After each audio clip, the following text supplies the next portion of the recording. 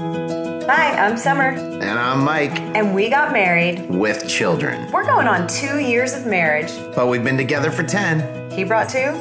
She brought two. Together, that's four kids. That's way too many kids. And we want to share what works for us and what doesn't? for step parents, co parents, marriage, being your best self, managing work, family, friends, health. We're going to talk about. Everything. You ready, babe? Always. Hello, Everything Always family. Oh my goodness, today it is two girls talking about blended families, talking about being stepmoms, and all the in between. I am so excited.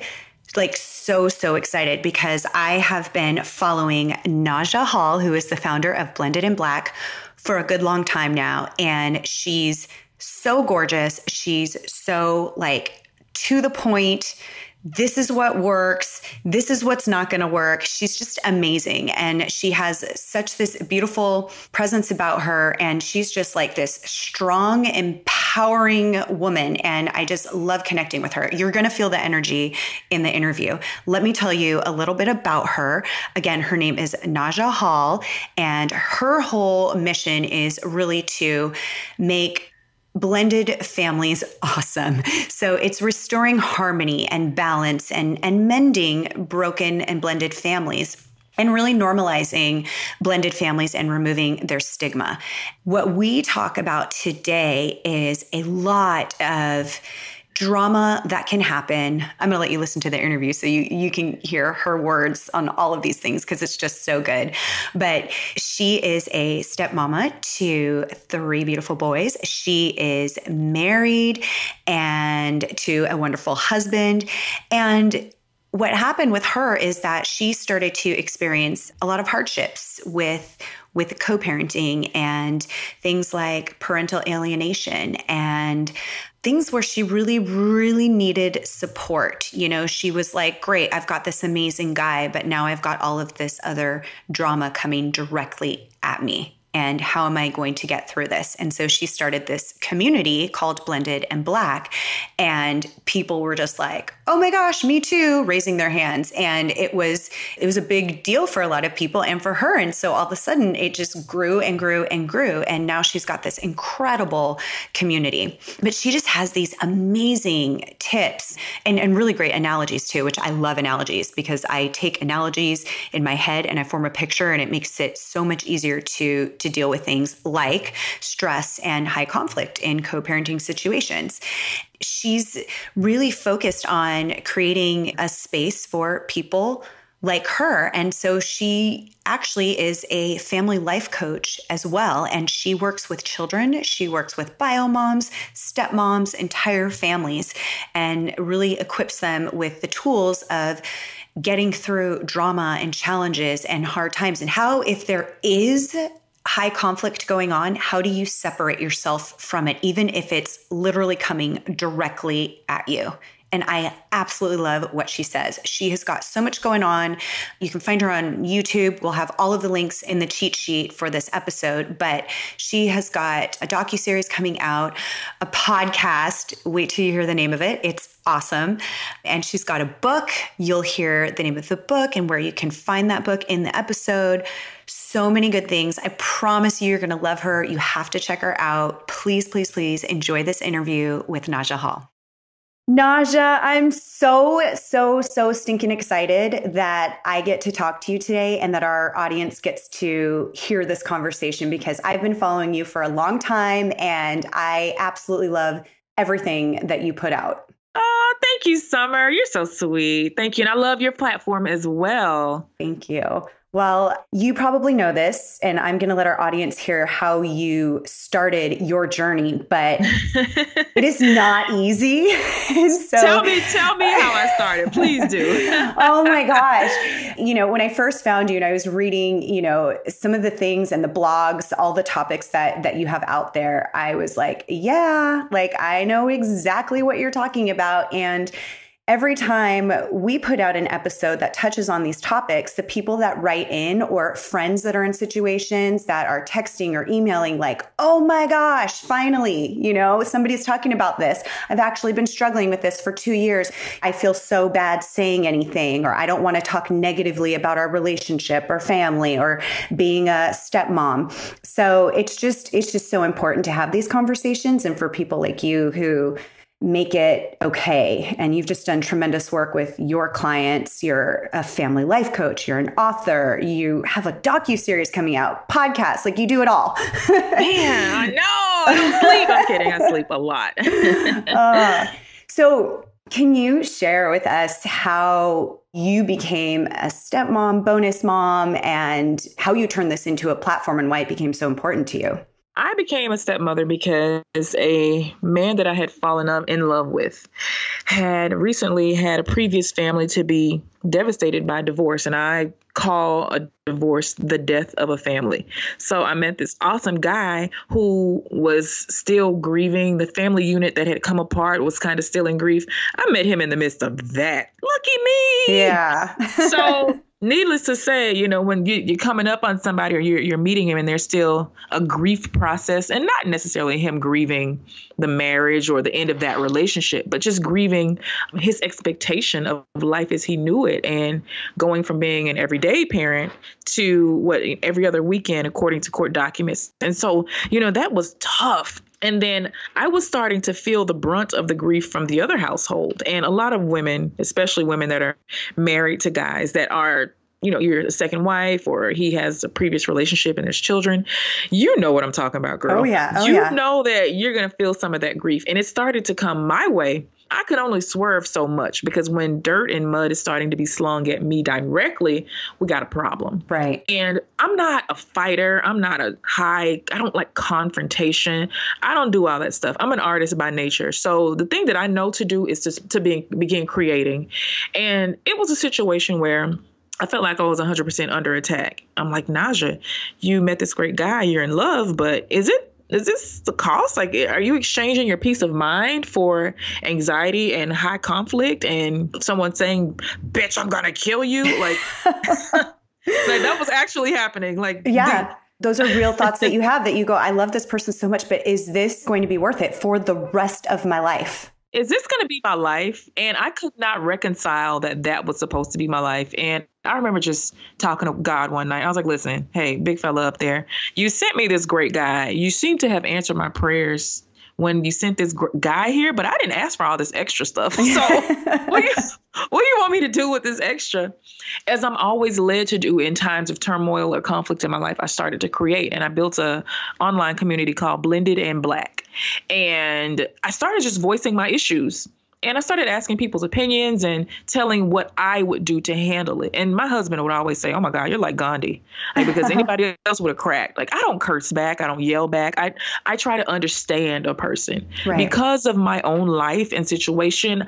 I now know the true meaning of what narcissism is, or I know how to communicate with a person that has been diagnosed with borderline personality disorder. I understand that when someone says you're ugly, you're fat, you're a failure, you're not smart, they're really projecting how they felt about themselves yes. onto me. And I know how to swear all that crap now. But initially, I didn't. And so now I teach people how to do that, how to be unbothered as hell. Cause I, I you know, I ain't really bothered. That is so empowering once you learn that. And I know I've been in this same place where it's like you really you start to believe those things and when you can finally get to that point and you probably know this because you see other people going through it and you so desperately yeah. want them to feel how you feel where it's like it actually it doesn't penetrate because you realize you have that epiphany moment where you're like that actually has nothing to do with me whatever you're saying a lot of it is unhealed trauma from childhood yeah. they're really projecting some crap that their grandma told them that they would never be onto you. So it goes really deep. And once you're able to develop a level of compassion, I know this sounds crazy. Like, you want me to be compassionate for a person that's harming me? Yeah, I do. Yeah. Feel sorry for them. Feel sorry for their asses from a distance, but still, you know, show compassion. That's so hard to do. I know so many women, and I know you know too. I know you work with them on both sides, whether it's stepmom side or biological mom side that hold on to so much bitterness that it's like no matter how hard they might try, you know, it's like one day they'll try to be a little bit nice and then it all of a sudden it's like they can't take it anymore. It comes out. Do. How do you work with them? Like what is, what are the steps to get them to have a different perspective and you know really because all that is is causing them more stress it's really the most harmful to themselves by having all of that Absolutely. bitterness and all that Yeah. those ugly feelings So if there's a woman that absolutely, because I've had it happen a lot, she'll say, Naja, I really want to get along with my child's father. I want to get along with my kid's new stepmom. I don't want to hate these people. In fact, I don't hate them. I want my kids to see me happy. If a woman can say that to me, which in most cases she will not be able to say that to me, yeah not in you know, she won't be able to say it like that the woman that comes to me will not really be able to say it in that manner but what she would be able to communicate is at least she's willing to talk and she knows that there should be a change should happen somewhere so the first thing i would do is just to ask her her whys i was like girl why are you so damn mad yeah why are you upset? And she's going to give me all of these reasons. She's going to allow herself to stay in the land of victimhood because it's really easy to live there. That's why most people are walking around feeling victimized all day because they see themselves, I'm a victim of this and this has happened to me and my circumstance has been this. Um, so first I'm going to talk to her and meet her where she is. If she wants to have a pity party all day, I'm going to go sit with her for about an hour or whatever. And we're going to talk about her whys why so and so made me feel this way. And then I'm going to challenge her to answer me and say, well, what are you willing to do to come out of that, to reclaim that? So and so may never apologize to you. Your ex is happier now with his wife. Your children actually like their stepmother. You were not good partners together. And I would say you also, you know, some people will say, well, he's he's an awful person. Well, you knew him then. You don't know him now. This woman might have a better version of him. And you have to be okay with that. And you have to give a better version of yourself to whomever your next partner will be. Mm. Because surely they're not going to want who you are right now. That Yeah. man over there didn't. He did not. So um, such good points that's when they get pissed off and get mad, and that's fine because I want them to get upset. I want them to see that it's okay to feel angry because then I can teach them how to process Mhm. that anger. I can t- teach them how to compartmentalize it, and feelings are just what they are. Sometimes it's just gas. You're Yeah. not really that angry. You just got indigestion, girl. You need to belch. Go drink a Sprite. You know, you. I teach them f- to find mechanisms by which to heal themselves and to calm themselves down. And so it's it's a process dealing with clients that are coming in with any sort of trauma, whether it's self induced or it comes from an outside source. gosh it's so hard for people to own it too Yeah. that's like the biggest thing and it, i've i've even seen it go with i've seen it happen with fathers you know mothers like in these situations with both where they have moments where they will apologize and go gosh i you know i'm really sorry for having done x y and z or of having been nasty last week or about getting upset with you about being late things like that but Yes. then it comes back right away You know why? Because that's a mark of instability to me. Mm, yeah because as adults, well, not as adults, in childhood, we're kind of taught accountability. And hey, I'm going to be accountable for my actions. I was a jerk to you last week, and I'm going to acknowledge that I did that. But there's something that gets twisted, y'all. Just because these, this person looks like an adult, that, that doesn't mean that they are. This is just like a 35 year old grown kid, okay? This is a big kid talking to you from a trauma induced place. If you find that the person is constantly going back on their apology, or they just apologized for kicking you in the shin two days ago and they're doing it again, this person is not well. And so you need to treat them as such. You now know that those apologies are going to come like clockwork. They're still going to go back to the same behaviors, but now you got to be smart and protect yourself. And you got to set up some personal boundaries, or else you're going to keep falling for the okey doke. you know what are the tools that you give clients when you are dealing with high conflict so you know if you're a couple dealing with an ex-wife or husband that's very unstable a very you know there's lots of roller coasters going on it's smooth and Ooh. Rough. I mean how do you manage that?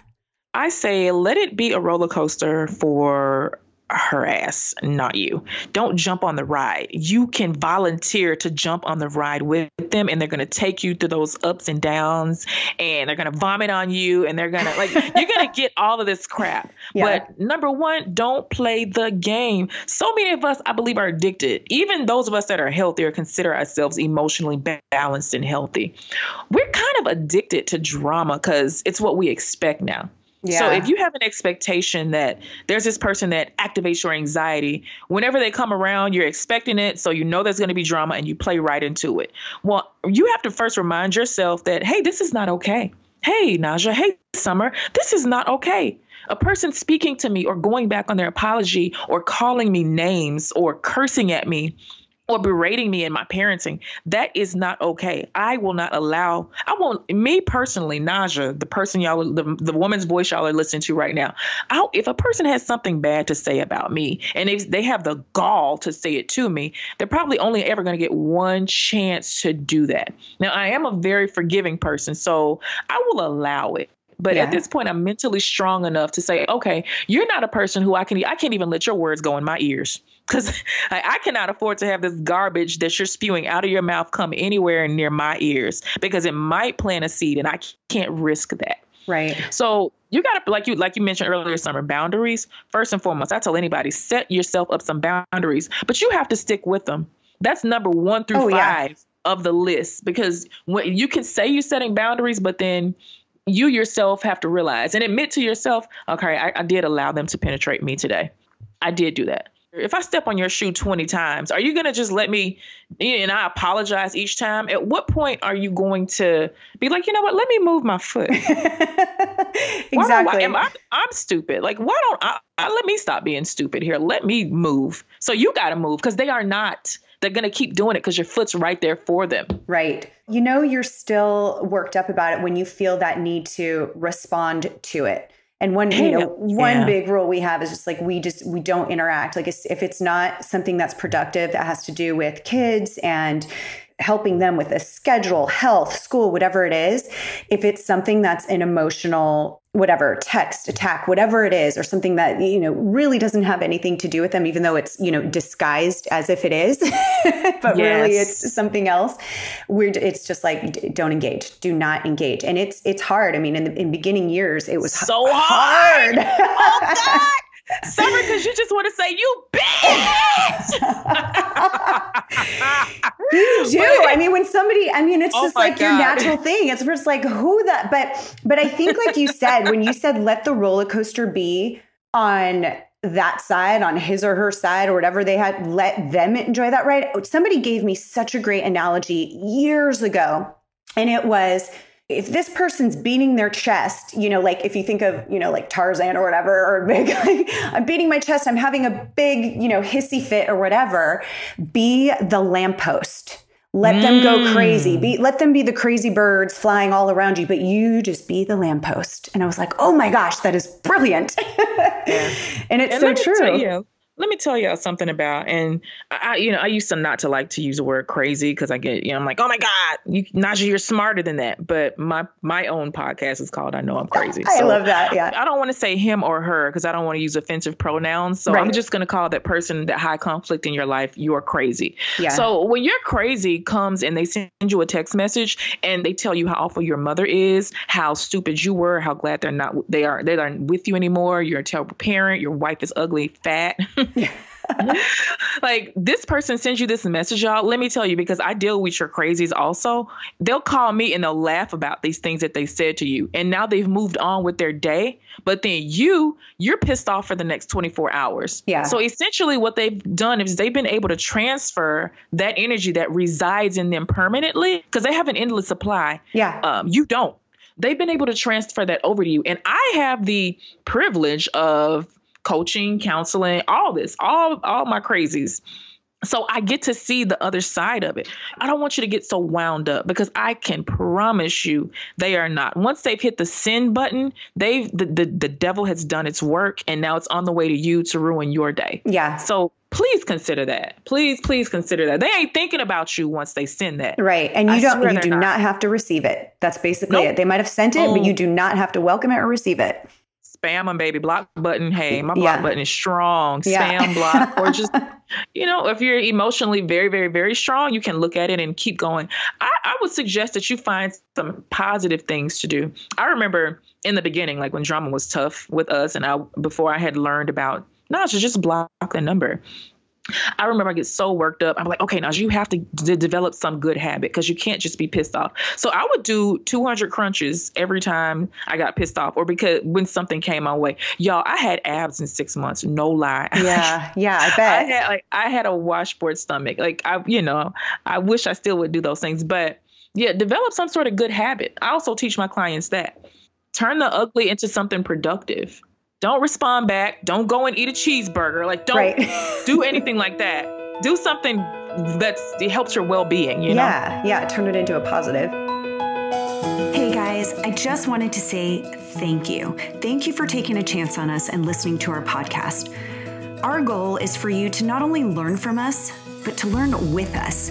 We've taken a leap on being pretty open about our blended family and how we do life in everything. We want to make sure we bring you all the things you want to hear always. So please, if you have specific questions like, how do I get along with my ex? Or how do I get along with his ex? Or how do I set some boundaries in place? Or why doesn't my stepson like me? Please, please email us with your questions. Email them to info at summerfelix.com because we want to answer those questions and we aim to bring you the best guests and conversations to address your most burning issues about everything always. So, I wanted to talk about in your situation. I know you've blogged about this and talked about this, and that is the whole biological mom and stepmom and that relationship. And I think mm-hmm. you have a very similar standpoint as I do, which I'm like there there's got to be boundaries. I think you can be friendly, Yes. but being friends comes with a lot of responsibility. responsibility that Oh yeah. can be a little bit maybe not so healthy for your marriage and for that family. So I would love for you to go more into that and also in those relationships because I think, you know, most of and you know this too, most of a lot of drama will happen amongst amongst the women unfortunately but that's that's what's happening. And i've seen a bio mom and stepmom who've had you know a great relationship from the very very beginning made the choice and and it has been it's worked for them. But what about those who are like well gosh it was okay and then it was really bad? I mean how can you get to a healthy place after maybe things have gone terribly wrong? A friendship between a biological mother and a stepmother. I've seen some women become straight up BFFs. So while I know it's not an impossibility, I don't want you guys out there to go into your co mothering relationship with the expectation that this is how things can be. This is how things have to be in order for me to look successful or be successful in my new role. Because it's just not.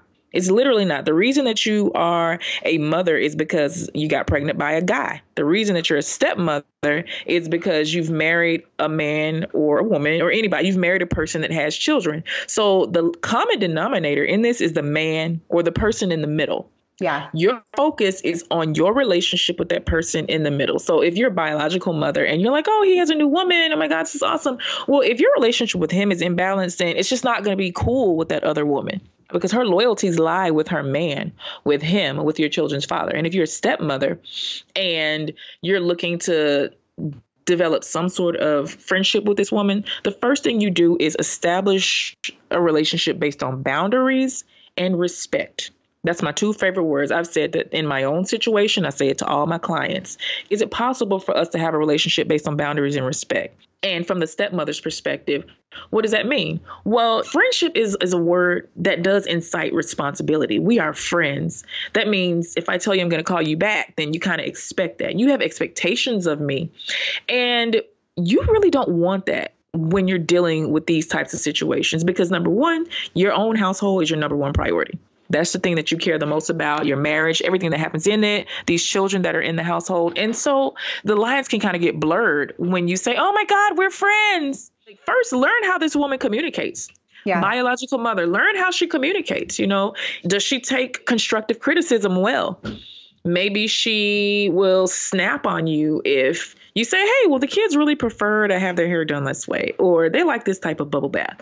You know, so you really have to take it real easy and learn about her first, learn about her quips and her family and her background and keep it surface. Coming into it brand new, no, don't come in thinking you're going to be friends. More than likely, you're not going to be. However, if, if you are, just think about it. It took years for she, maybe years, I don't know, for her and her man to, her and your man, wow, I'm sorry, yeah. to develop a the relationship that they have today. So you're not going to come in overnight and be welcome into the fold, and you're not going to have that same type of relationship. If things have say they didn't start out well or there's been a lot of high conflict you know with a man and the ex-wife and the new wife and the ex-wife is there hope for that relationship there's absolutely hope there's hope when everybody involved all the parties involved are able to acknowledge their part in the breakdown in communication and they're able to own it they can apologize and they can kind of accept their roles. And they also have to acknowledge how they've made other people feel. Mm-hmm. There has to be some serious apologies. And then the way you know something has changed, as we were talking earlier, is consistency. We can't have this one big hug it out session and then next weekend we're fighting in the Whole Foods parking lot again. Like we can't right. do that. So, uh, but I do think redemption in any case is possible, except you know, there's like a list that I made in my book, and I don't have it committed to memory. But if there's been cases of violence or stalking, or you know this person has a mental illness and they are not, they're refusing to go and get treatment. In cases like that, I would just command that you keep a very safe distance. I don't even want to call it a friendly distance, but I would I would suggest you go no contact. But in cases just short of oh my god, we were killing each other and we're attacking one another, then yeah, I, do think that healing can happen. What kind of things have you seen with the stepchildren and relationships? Like, I know that there's some one one thing that I would like to address more because this is also something that's come in a lot, actually a lot, and I feel like mm-hmm. you're the right person to talk to.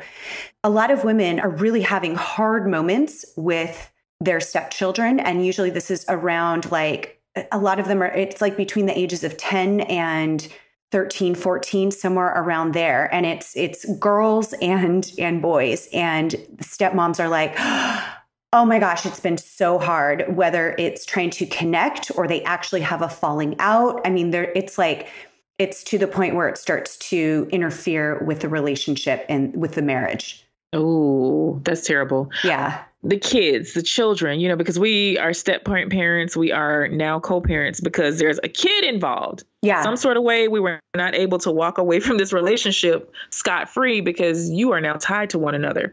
And children are so caught up in the middle of our adult drama. They really are. There's a lot of parents that try to protect their children from the fallout of divorce. But I mean, my God, kids are very smart. They see mm-hmm. that you mm-hmm. don't live together anymore. They see that you have a new partner. They see you don't talk the same. They see that you're showing up for parent teacher conferences at different times. The thing that can be done to really nip that in the bud, number one, is I also have a lot of kid clients, and kids tell me everything. My God, you guys would be surprised what your children will come and tell me that they would never say to you because they feel like they have to protect you. Yeah. So number one, don't put your kid in a position to where they feel like that they have to be your protector. Don't do that because now they don't feel stable.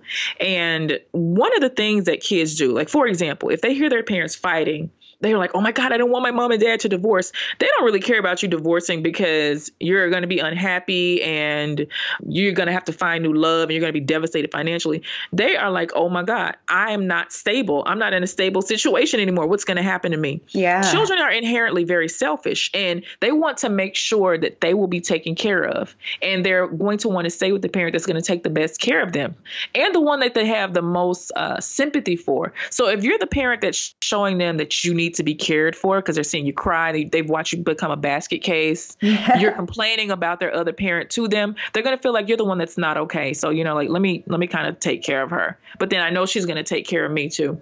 So the second thing is offer your kids a lot of reassurance, even as a step parent if you know your ch- well these children are products of a breakup or divorce either way their biological parents live under two separate roofs so you can offer reassurance as well i would just encourage any adult in a kid's life to say you know you're gonna you're okay everything is going to be okay. I'm going to do everything in my power. And I have a lot of power to make sure that you are always taken care of, that you are well. And if you need anything, I need you to tell me.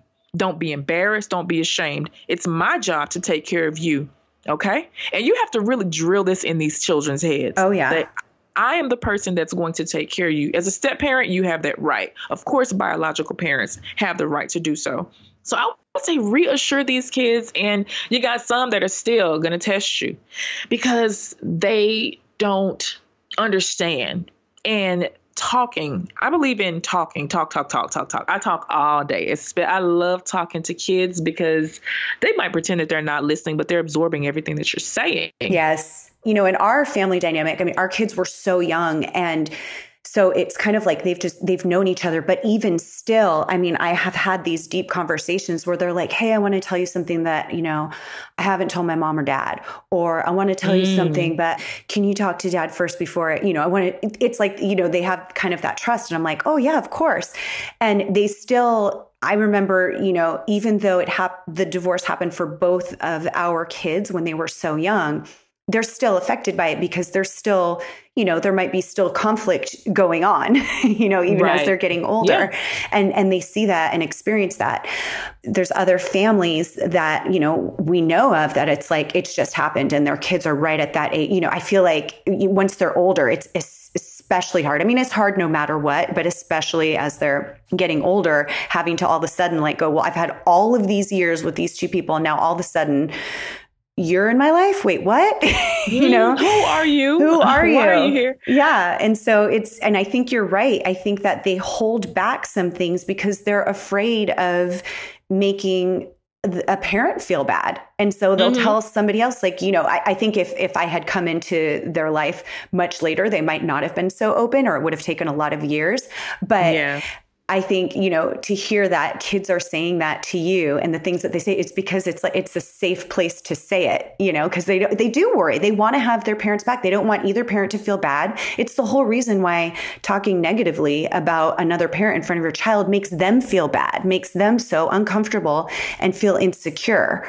Mm-hmm. Absolutely. They have a, you call that a loyalty bind. Yeah. Kids feel these extreme loyalty binds to parents. And an unhealthy parent forms an unhealthy enmeshment with these kids. Enmeshing simply means, as parents, when we do it, I can't see where my child ends and where I begin. Yeah. And that's some really unhealthy crap it's because so your unhealthy. kid is an individual. They don't, as much as we like to think it, they don't really belong to us they don't. They belong to God. They belong to the world. You are the vessel that's meant to rear them, but they don't belong to us. And parenting is one of the most egotistical jobs out there. Like it really is. But a healthy parent realizes early on what their role is in this person's life. But an unhealthy parent, they form a very unhealthy attachment and they keep the kid from being able to form positive relationships in the future. If you block your parent, if you block your child from forming a positive relationship with their step parent, an adult that takes care of them that they actually like, imagine how you're facilitating unhealthy thought processes. But dang, I can't like this person. So they're going to be confused. So oh, absolutely. don't do that. It, yeah. And I think by allowing them to make their own decisions on who they like and who they want to have without, you know, relationships with without, you know, manipulating in, them into what makes you more comfortable or makes allows you to stay codependent.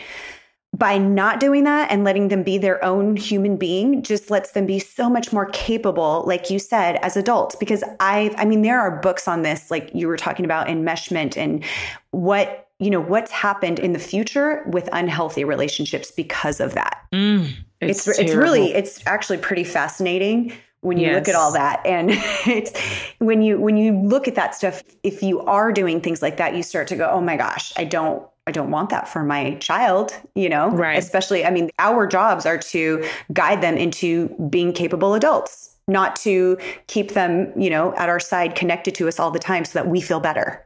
Absolutely. I get very heated up. It's a passionate topic because you know if you're a healthy person and you're wounded properly and you were reared properly, when you see improper parenting, it pisses you off. Yeah. and when it's very close to you, it really pisses you off because now it affects your life Right. and your day to day. Oh my gosh, I think I could like talk to you forever because you, have like all of the topics. Like, I mean, Girl, I I, just got all, Uh, you got all of it. I mean, oh god. tell I want to know where though because because we don't have forever and I wish we did. Tell me where we can find. I know we can go to blendedandblack.com and that's where we can find your podcast. We can find so many great blogs and videos and all the topics. I mean, if you're Yes. Eh, everything to do with co-parenting, divorce, finances, stepmom, step parenting, like all of it is is there. I like absolutely love it. It's been such an amazing community for me. So thank you. Thank you for being in the blended and black community, Summer. You know, I love and appreciate your support. And yeah, like you can you guys can find me everywhere at blended and black. And my name is Naja Hall. So you can either look up blended and black and just because it's called blended and black doesn't mean everybody's not welcome because everybody is welcome. All you gotta do is kind of sort of be in a blended family and you are welcome into the fam. That's what I call Awesome. our our community. I call the community our fam. And my book can be found at girlby.info. And the podcast, I know I'm crazy, is out in April. So Oh, so excited. It's going to be so awesome. Follow her on Instagram too because she's like so gorgeous. You have all these gorgeous pictures, so many Aw, great like Summer. posts and yes, you you are you're stunning inside and and, you out. yourself, honey. I mean, come on you. now. I see your pictures. Y'all summer is fun. Thank you. Oh, I'm so excited that I got to speak with you. We are going to have, as you, as listeners, you know, we will have a downloadable cheat sheet. We'll also have all of this information on the cheat sheet so that you can find everything about Naja on there, her books, her podcast, docu series, her community, everything is it's all there. And thank you so so so much for being with me today. So fun. Thank you, my sister. I appreciate you. Thank you so much. Hey guys, thanks so much for listening to our podcast. You know what they say if you can't find what you're looking for, then you need to create it. So that's what we did. Yep, I scoured the internet and looked for the tribe that spoke to me, and I just couldn't find the community that was raw, vulnerable, and really wanting to make a change to the millions of families like ours. So I decided to create it. It took about one conversation for my husband to say, I'm in. And here we are. But it takes listeners like you to keep it alive. So please, if you like this, write a review, take a screenshot, share it on your social media. Tell people it means the world to us. Remember to email us. We would love to hear from you. And please share this with someone you love. And be bold enough to share it with someone that you don't.